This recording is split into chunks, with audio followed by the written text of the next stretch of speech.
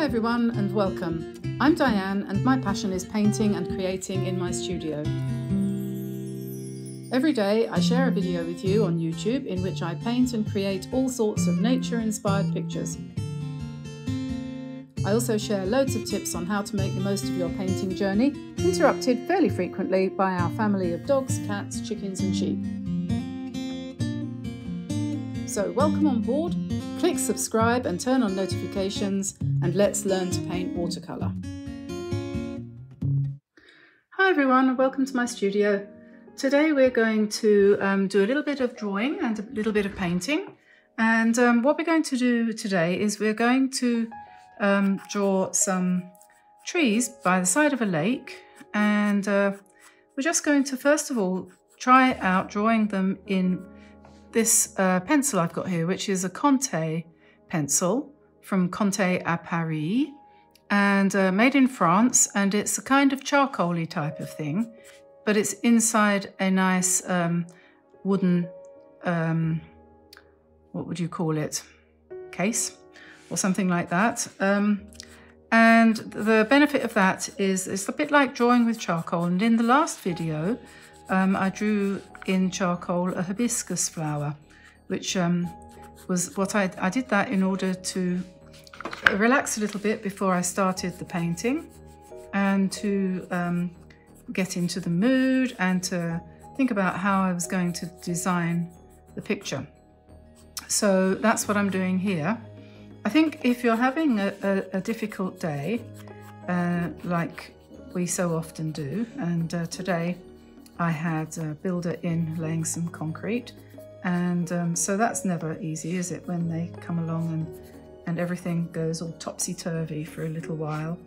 Um, so anyway, I at the same time as that, I, I needed to do videos and I needed to do two because tomorrow I have a, I've got to make a trip to a nearby town um, with a, a friend of mine who's got car problems and she needs someone to take her to go and pick up a new car and um, it's, it's not that easy for her because she's not very well. Uh, anyway, so I can barely spare the time, but nevertheless, I'm going to go and do that. With Tamsin, we'll go out in the morning, so we won't have a chance to paint in the morning, which is what I normally do. Um, and we'll have to, so therefore I've got to um, fit in two videos today, which is great because I'm always looking for an excuse to draw and paint and got plenty of excuses now since we started doing the YouTube. And um, as you probably know, we've just passed 10,000 subscribers, which is unbelievable. And um, so we're very grateful to all of you. And I'm just very excited about all of this. So anyway, so we've got three kind of um, sort of, uh, what do you call them, larches or something like that on the side of this lake. And we're just taking the branches up a little bit now. And they're kind of, the, the trunks are sort of slender.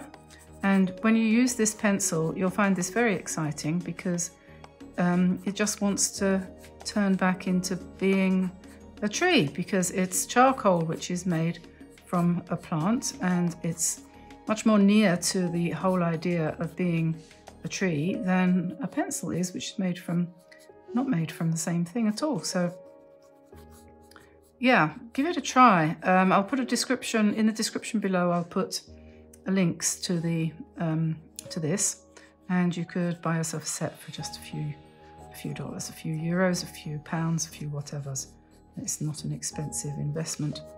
So I'm just kind of indicating where the remnants of the leaves might be here, just with some scribbles.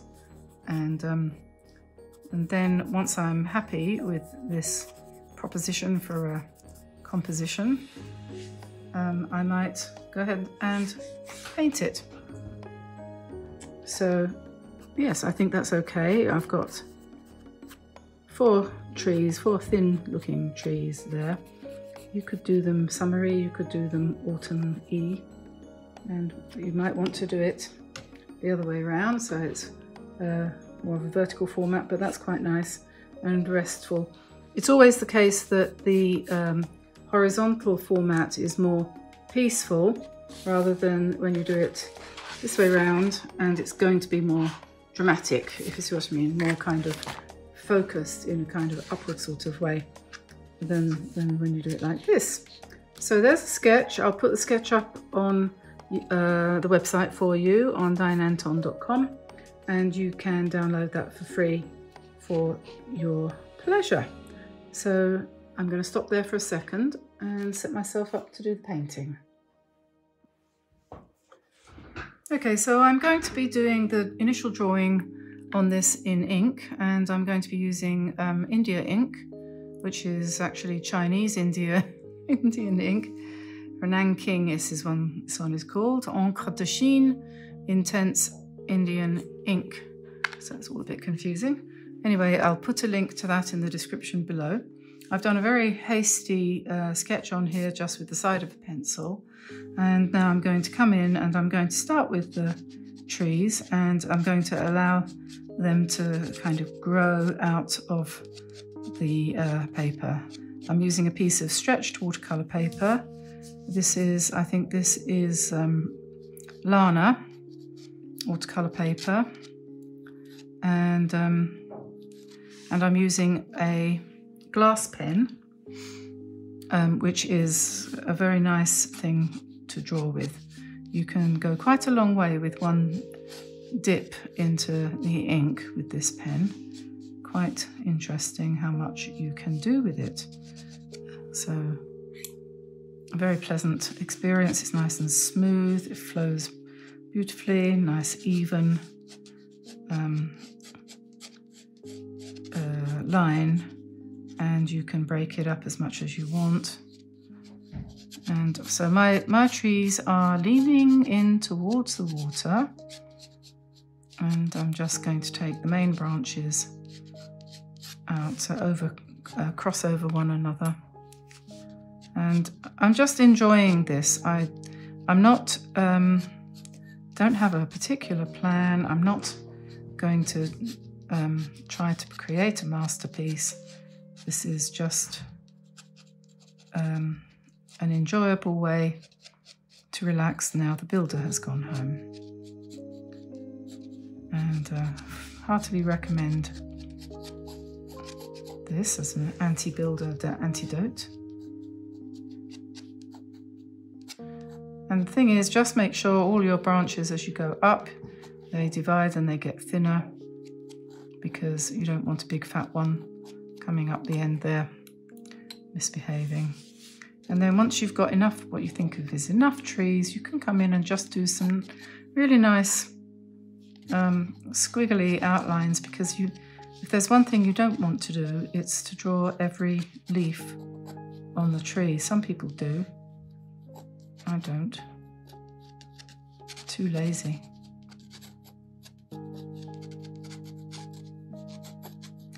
So we'll get the basis in. And um, so just think of the the uh, the leaves as being in kind of clumps. And then once we've got these kind of clumps in, and these clumps are going to reflect your personality. You know, you can't it can't be any other way. So whatever happens is going to happen. So then I'm going to just sketch in the horizon line there, going to go right way out like that. And then down here we've got some something of a kind of bank like kind of thing going down to the water we had it here. I'm working from this. And lots of really fantastic opportunities for just letting it all happen. So you've got your little beach type thing there. These trees could probably do being a bit fatter, so we'll just strengthen them up down that side there with a bit more. I imagine the one thing that you might want to do with an ink pen made of glass is just not pressed too hard, so I need to restrain myself on that. But uh, I don't know how strong it is. I think it's made from the same sort of glass they make Pyrex dishes from, so it's probably fairly strong. Anyway, um, so up here we're going to going to do a kind of scribble of shadow of the trees growing along the edge of the lake in the distance there. And then we need to come up a little bit. I'm thinking of Canada while I'm painting, drawing this. This is making me feel like the, I don't know, the Manitoba or somewhere like that where you have these long lakes.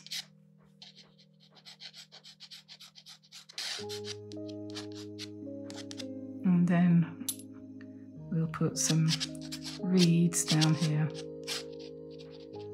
Some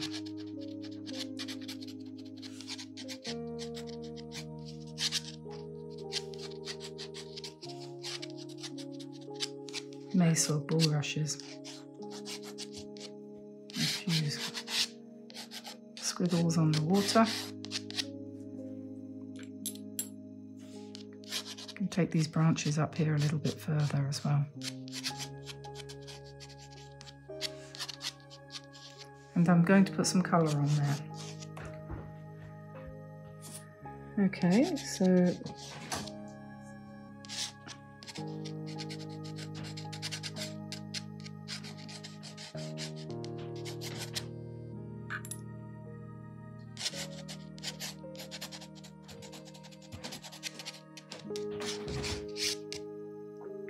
Great fun drawing with that, so I'll put that back for a minute there. And I'll just close up my ink. Now, if I'm going to do this uh, in watercolour, I will probably just restrict myself in terms of colours quite a bit. And uh, my usual blue is um, cobalt blue. So we'll use that for the sky and maybe also for the water. Or we could use cerulean, um, which I don't have. I'm out of cerulean, so I'm going to go with cobalt. Uh, then quinacridone gold is always a good colour for the shades of autumn. I know I've got that somewhere. What have I done with it? Is this it? It looks like it. Quinacridone gold and then maybe a touch of olive green, maybe a little bit of sepia or burnt sienna. I'm not sure at this particular moment in time. So I think, uh, as you can see, the top of the tree has been cut off. I have cut off the top of the tree. I'm going to use my um, uh, cat's tongue, my Zen Art um, Black Tulip cat's tongue brush for this, only because I've got it. And um, I'm going to start off and just drop in some uh, quinacridone gold and a bit of burnt sienna. Give myself a, a nice kind of russety, autumn-y sort of. And I'm just going to put it in, in, some kind of loose, a loose way, not really joined up. And um, a little bit more burnt sienna, maybe a little bit of blue, which is going to give me a bit more of a kind of shadowy sort of thing. And we'll just see how that goes with this brush. We want a nice variety of colours, don't we?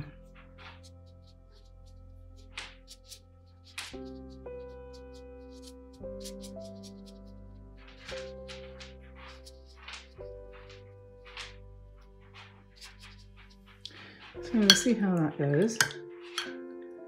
And then um, I think probably a good idea to approach the sky.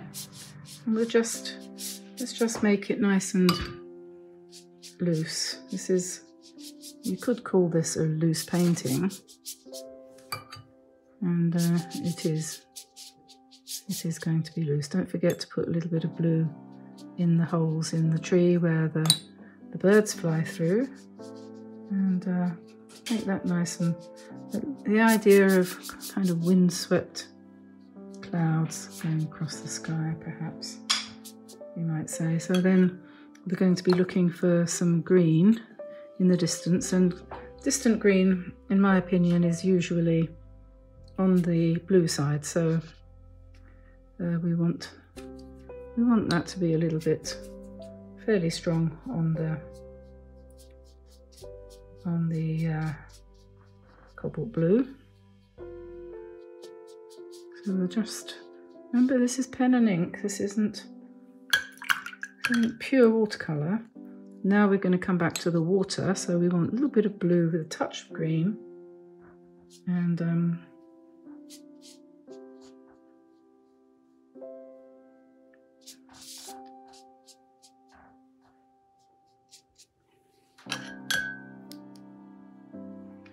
And we just, this watercolour paper is fairly quick to absorb and fairly slow to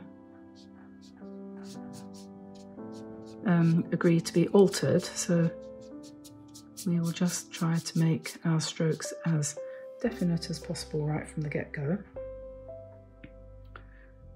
And um, now we need green and blue and quinacridone gold for these foreground grasses and things. So let's just use, oh, and also perhaps a bit of burnt sienna. Now you can hold the brush in a different way if you feel you want the impressionistic style.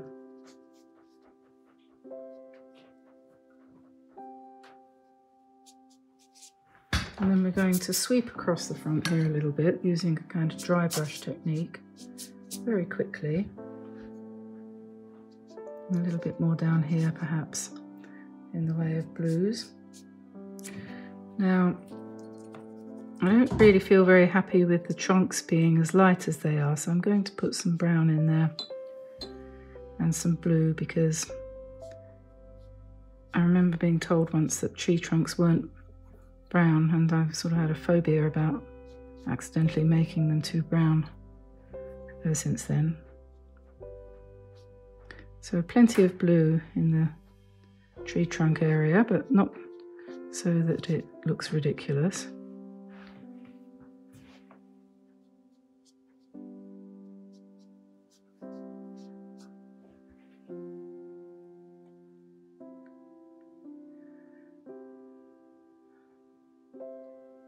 Okay, now we might, might want a little bit more on the water at the back there just to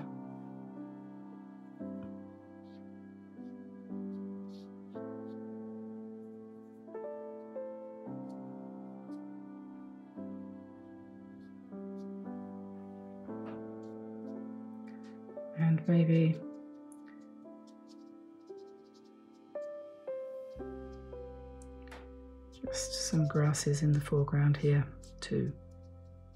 And the last thing you want to do is to overemphasize and do too much detail. I always remember Rowland Hilder saying you have to have an area in your painting that allows the eye to rest. And I think that's very important. And here, in this particular case, it's the water, I think, and this area here, which is the restful area. And uh, but I do think it would be quite nice to have a couple of birds coming in over the water. So I've done those in pencil, and uh, we will um, enhance those later a little bit. And uh, the other thing is, having got to this point, I now feel that um, I want to bring this branch a little bit stronger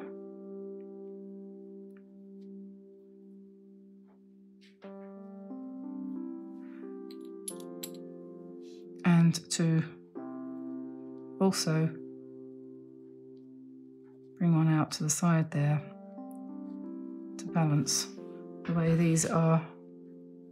Put another another whole tree in there at the back because that doesn't look quite right.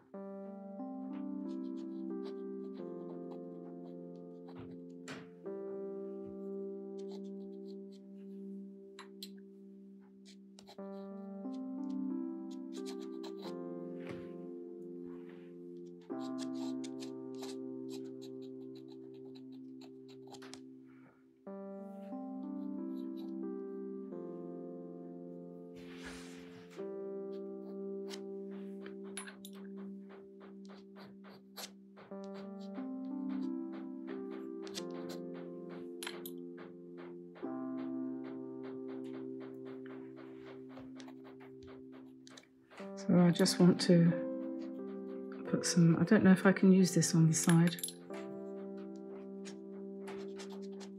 Yes, you can. Ah, there we go. Some nice random calligraphic marks.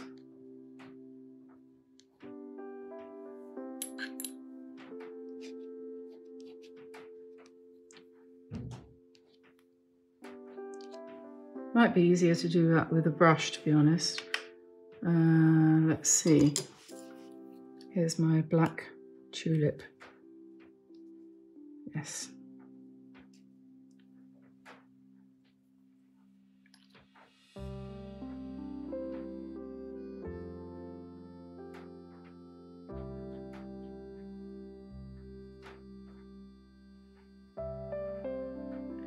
Yep, that's exactly what we needed some stronger lines down there and uh, this brush is perfect. You can see how that just brings and then maybe a little bit more dry brush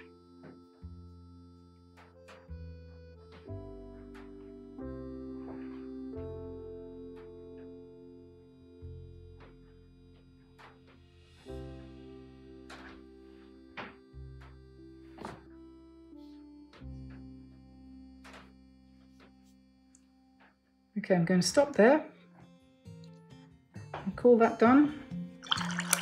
So there we are, a little lakeside sketch in pen and ink, brush and ink, Indian ink and watercolour.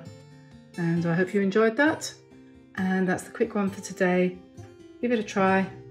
And uh, don't forget to check the description for the links for anything that you might not have that you want to use. So I'll let you go and I'll see you tomorrow. Bye everyone. Bye bye.